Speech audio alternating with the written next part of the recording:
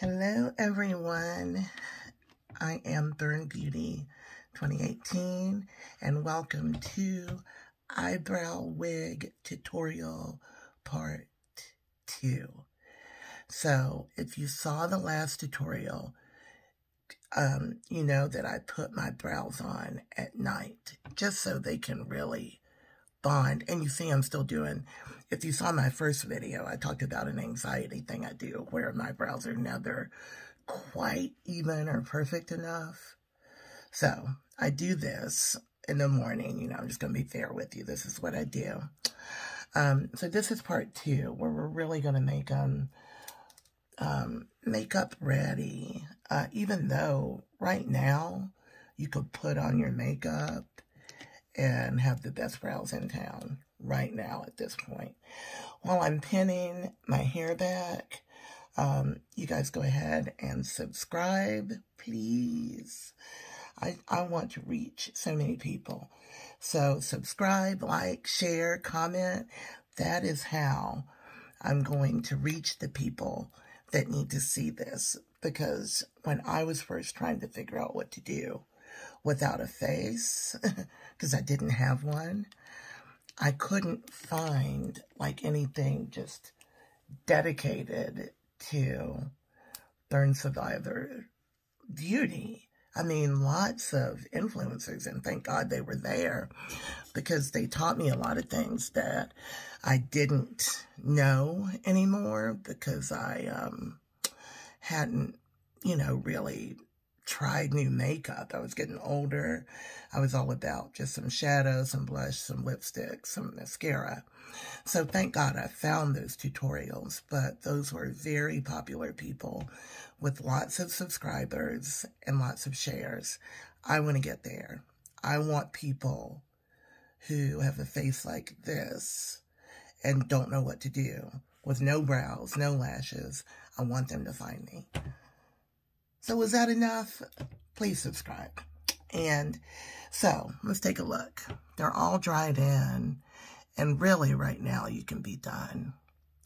But I think, you know, the brows are like, everybody's going to tell you brows are sisters, not twins. And that's true even with the Lashybrows, the way they lay on your face. So this one lays this way. It's very thick and it goes like this. I love my right eye. It is so Gucci, right? I got a little Walmart over here. So I'm going to, I don't know if I can do it in this mirror. I'm using an Anastasia brow pen in dark brown. And I'm just going to try to emulate this shape by filling in the bottom a little.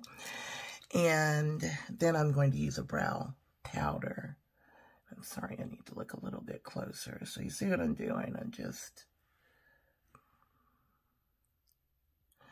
right here in these. Um, and this is not because of the brows. This is because of your face. And you know, the very first time, if you saw my first video, if you haven't seen it, go look at it. You don't have to watch all 15 minutes, but get through it so you get the idea. Because I tried microblading twice, and you'll see in my first video that just went up before this one what that microblading looked like after only three weeks. I probably spent $1,200 between the two different artists, and I have brows that are not, you know, not going to work. I would still have to put pomade on them and deal with them, and I can't stand doing my brows. That's why I got microblades, right? Or wanted tattoos. I had tattoos The I was burned, and it's just the best thing you'll ever have in your life. My skin grafts did not accept the tattoos. I have seen ladies with burned faces, ladies and gentlemen with burned faces, that did get tattoos and it totally worked. Right? Now, what I'm covering up, can you see it? There's a little bit of white at the top. And that's from me messing with the uh, brows after I put them on. Fortunately, I've learned how to fix it. So I always keep an Anastasia brow pen, and you say, why? Why do all that if you've got the Lashybrows? Well, I treat them like my own brows. I want them to be super, super nice. And they're already nice as they come out of the package.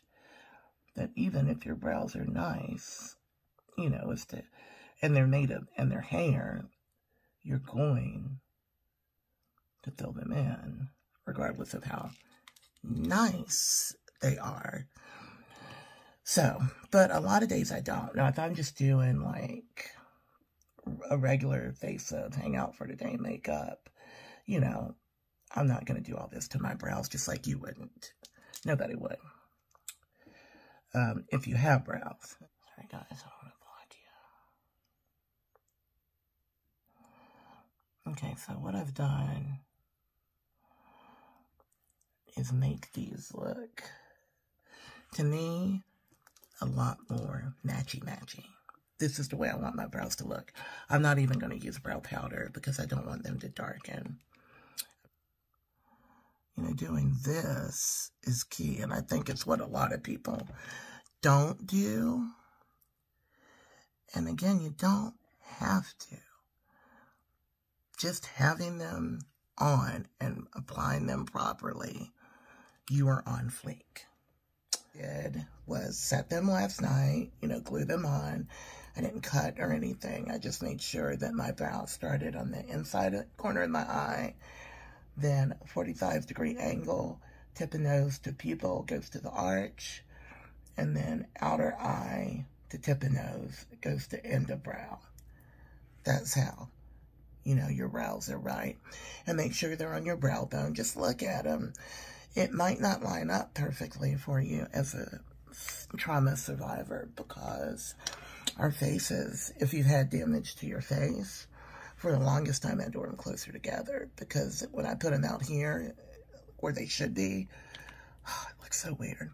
So I'm just taking some Gerard Cosmetics concealer. Um, I'll put the link below. It's something I buy on Amazon. It's a great, great price, Gerard Cosmetics. And it's um, brow primer and concealer.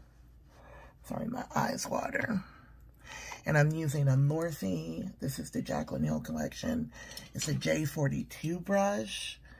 I don't know that they have that on Amazon, but this is is probably a 42 brush anyway you slice it. It's for the arch of your brow for highlighting it. I use it to put my concealer on and then I clean it I clean all my brushes as I work with NYX on the spot brush cleaner. It dries immediately. So, right here, you see, this is my tattoo making this brow look funny. This one looks sharp. This one looks funny. So that's the remnants of my tattoo, and that's what I've got to get in and fix. Now, for you, what you're trying to do is get in and highlight under the brow. You always highlight under your brow, okay? You take your time, small strokes. You do not want makeup in your eyebrow wigs. It is hard to get out. I mean, some makeup, like eyeshadow, is not that bad. So I'm using a downward motion to make sure that I'm not getting up in the hairs. Um, like eyeshadow is not that terrible, but concealer, um, this concealer that I'm using because I think because it's designed as an eye primer and concealer is not so bad to wash out. That if you use a concealer that's just standard concealer, very hard to get it out. And it's okay, but I like my brows to be clean at the end of the night so that I can start over tomorrow. These brows are a great price. Um, if you look them up, I, am doing a, a favor for my girl at Lashybrows because she's been providing me my brows for a long time. I would love to be an affiliate though because I love these brows. or maybe have my own brow company. The thing about these brows is they were the first thing that gave me confidence and made me feel normalized after, um, you know, coming home and, you know, really realizing, like, God, look at my face. Get up in that arch. And then you're going to do, I'm using just a tiny tad bit of this Gerard Cosmetics on my brush. It looks like that. And that's enough to do the whole eyelid over here. But you definitely want this highlighted line underneath your brow. It looks so pretty. And it's kind of a modern way to go. I am not in love with frosted um, powder or shadow or whatever in the arch of your eye. I don't feel like it looks like a modern look. It makes me think of the 70s. Now, sometimes I will put something frosty in there, but just for, pardon me, day to day, keep that frost out your arch, please. You can do it. I'm going to put a powder in it in the end. I'm, I'm going to highlight the arch even more than what this stuff is doing. But I, I'm going to use a flat matte shadow to do it. Get some up above it, okay? Be careful here. This one is harder. The top, I'm to take my time. You don't want it down in that brow. And when I say hard, I mean challenging but perfectly doable. Just take your time and use the right brush. The right brush is everything. I recommend Morphe. They changed my life. I just recently started using Morphe brushes, and I couldn't believe I waited so long. So, that's pretty much it. Your Lashybrows are looking good.